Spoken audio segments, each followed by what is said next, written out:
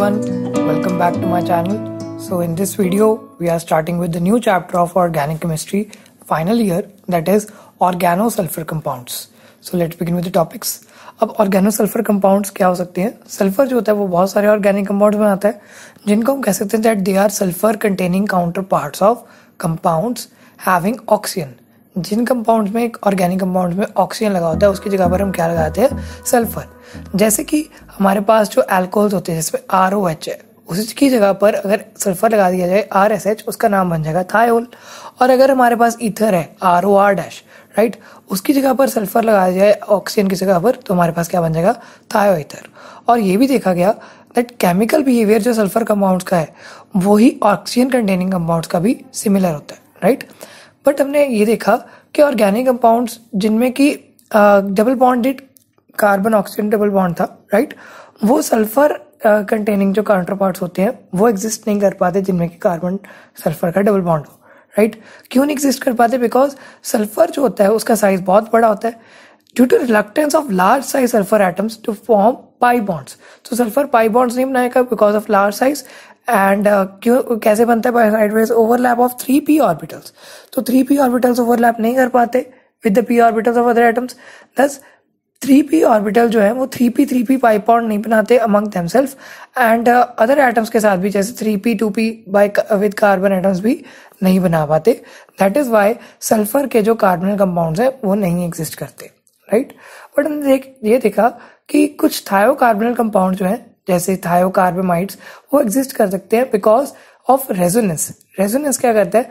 वो double bond character को decrease कर देता है. जैसे कि यहाँ पर है जैसे ये क्या है? थायोकार्बेमाइड। यहाँ पर जैसे अमोनिया है, उसके जो लोन पेयर है it gives a partial double bond character ये रेजोनेंस शो करेंगे। और यहाँ पर डबल बॉन्ड है it will the electrons towards he sulphur so ये जो हमारे पास रेजोनेटिक स्ट्रक्चर आया था, ये शोज़ दैट यहाँ पर कार्बन सल्फ़र डबल बॉन्ड नहीं बन रहा राइट right? तो इस वजह से ये कंपाउंड जो है that are relatively stable right अब फ़र्स्ट जो हमारे पास इस चैप्टर में that are thiols right thiols क्या होते हैं? That are sulphur containing counter part of alcohols जैसे आर ओ एच था, उसकी जगह पर आर एस एच होगा राइट सो इनमें प्रीफिक्स क्या है? थायो कि मतलब इसका मतलब है कि सल्फ़र की जगह पर हमने ऑक्सीजन की जगह पर हमने सल्फ़र को रिप्लेस करा है राइट थायोल जो है, जब मर्कुरिक ऑक्साइड के साथ रिएक्ट करते हैं तो मर्कुरिक सॉल्ट बनाते हैं राइट तो मर्कुरिक ऑक्साइड के साथ जो मर्कुरिक सॉल्ट बनाए, इसलिए हम उन्हें क्या कहते हैं? They are called as mercaptans को क्या कहेंगे?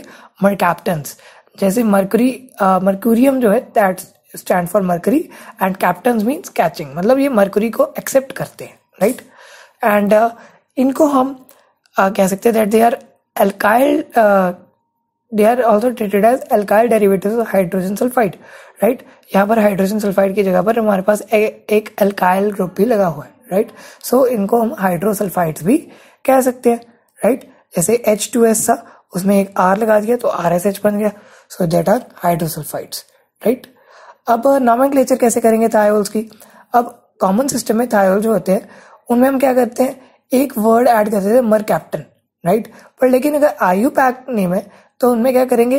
जैसे अल्कोहल था उसके सिंपली हम उसी उसका लास्ट वर्ड चेंज करेंगे बाय थायोल जैसे यहाँ पर एक टेबल है इसमें जैसे C H three O H होता है मिथेनॉल और यहाँ पर C H three S H क्या है? मिथेन थायोल राइट और यहाँ पर मिथाइल ग्रुप है and we get O H group right तो ओ एच की जगह एस एच है सो मर कैप्टन लगा देंगे मिथाइल के साथ मर कैप्टन अब यहाँ पर इथाइल है mercaptan S H so ethyl mercaptan फिर ये uh, जो हमारे पास प्रोफ़ाइल राइट तो यहाँ पर ये प्रोफ़ाइल का नेम नहीं लिखा हुआ but it is propyl mercaptan right it is right secondary propyl mercaptan right and इसका नाम बन जाएगा that two propyl sorry propane two thiol right and यहाँ पर जैसे ये ब्यूटाइल मर कैप्टन है, इसका नाम बन जाएगा ब्यूटेन वन थायोल और ये थाइक्लोहेक्सेन के साथ एस एच है सो साइक्लोहेक्साइल मर कैप्टन और साइक्लोहेक्सेन थायोल बन जाएगा इसका नाम। राइट सो आई थिंक आपको आयु पैक और कॉमन नेमिंग सिस्टम समझ आ गई। अब कुछ कंपाउंड्स होते हैं जिनमें कि फंक्शनल ग्रुप्स होते हैं, वो और भी। Right right? तो वो फंक्शनल ग्रुप्स को हम प्रियोरिटी देंगे। राइट जैसे हमारे पास एस एस एच है, उसको हम मरकैप्टो से डिनोट करेंगे बट ओ एच को ज़्यादा प्रायोरिटी देंगे in numbering and naming also जैसे यहाँ पर एग्ज़ाम्पल था हमारे पास, यहाँ पर मरकैप्टो बाद में लिखेंगे, इसको प्रायोरिटी बाद में देंगे देन ओ एच तो ये क्या बन जाएगा? इथेनॉल है so ethanol is given priority and second group पर मरकैप्टो लगा सो to mercapto ethanol.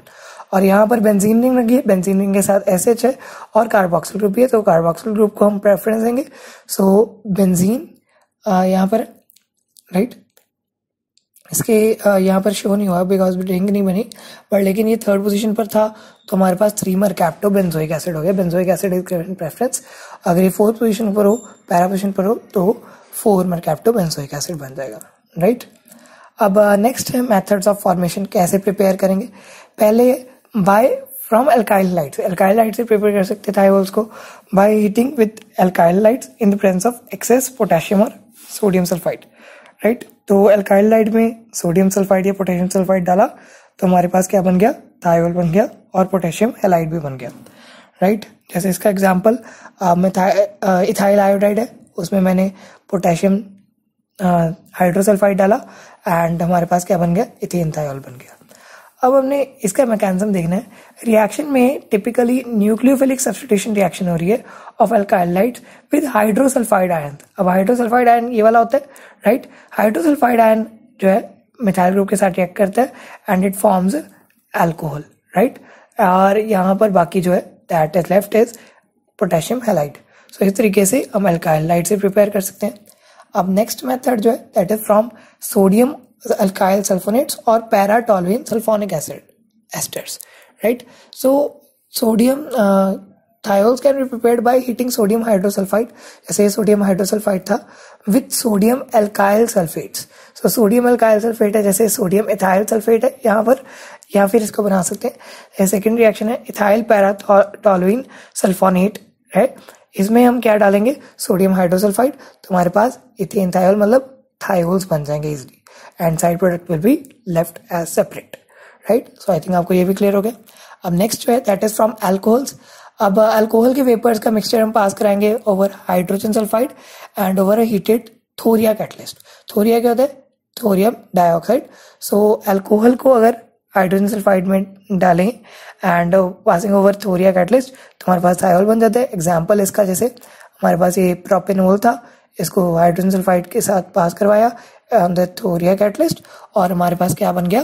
Propane one thiol right and अगर अल्कोहल को हम फॉस्फोरस पेंटा या फॉस्फोरस ट्राइसल्फाइड के साथ भी हीट करें तो भी हमारे पास थायोल बन सकते हैं इजली राइट जैसे यहाँ पर फॉस्फोरस पेंटासल्फाइड है, इसमें मैंने अल्कोहल डाला तो हमारे पास थायोल बन गया। उस तरीके से इथेनॉल डालेंगे इसका एग्ज़ाम्पल सो इथेन थायोल बन सकते हैं इसके साथ राइट सो आई थिंक आपको ये भी क्लियर है। अब नेक्स्ट है from Grignard reagent Grignard reagent में क्या करेंगे? हम सल्फ़र के साथ पहले ग्रिग्नाइट रीजन को एक्ट करवाएँगे.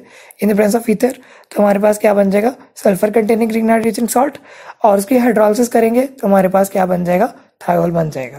राइट ये तो हमने अल्कोहल चैप्टर में भी पढ़ी हुई है so it is easy reaction आप इसको इसी लेके से याद कर सकते हैं? नेक्स्ट है फ्रॉम एल्कीन्स अब एल्कीन्स जो होते हैं उसमें हाइड्रोजन सल्फाइड में ऐड हो जाते हैं to form thiols according to Markovnikov rule जैसे यहाँ पर हाइड्रोजन सल्फाइड में एल्कीन ऐड करा, और एस यहाँ पर लग गया, और हाइड्रोजन इसके साथ लग गया. अब मार्कोनिक रूल क्या कहता है? Negative part of a addendum goes to that carbon that has lesser number of hydrogen atom तो यहाँ पर ये एक हाइड्रोजन है, यहाँ पर दो है. तो यहाँ पर नेगेटिव पार्ट मतलब सल्फ़र यहाँ पर ऐड होगा. सो इसमें लेस हाइड्रोजन है. So it will form propane two thiol right और अगर एंटी मार्कोनिक रूल लगाए अगर यहाँ पर परऑक्साइड का एटलिस्ट होता तो क्या होता था कि हमारे पास नेगेटिव पार्ट ऑफ़ डेंडम कहाँ पर जाएगा? जिसपे ज़्यादा हाइड्रोजन लगे होंगे। तो अगर एंटी मार्कोनिक फॉलो करे ऑर्गेनिक परऑक्साइड हो यहाँ पर तो ये सल्फ़र ये फ़र्स्ट कार्बन पर अटैच हो जाएगा। सो so, इस तरीके से एल्कीन से हम प्रिपेयर कर सकते हैं। And next is from hydrolysis of thioesters जब थायोएस्टर्स को हाइड्रोलाइज करेंगे इन एसिडिक और बेसिक मीडियम थायोएस्टर जो है they will heat thiols so ये थायोएस्टर था हमारे पास। इसमें वाटर के साथ रिएक्ट कराया। तो यहाँ पर थायोल बना और कार्बोक्सिलिक एसिड भी बन गया इन एसिडिक और बेसिक मीडियम इसका एग्ज़ाम्पल है जैसे इथाइल थायोएसिडेट है। उसमें वाटर डालेंगे एंड इसके हाइड्रोलिसिस करके हमारे पास क्या बन जाएगा? इथेन थायोल और इथेनोइक एसिड भी बन जाएगा। So that was all about the preparation of thiols and in the next video we will study with the physical and chemical properties Till then, stay tuned. Thanks for watching.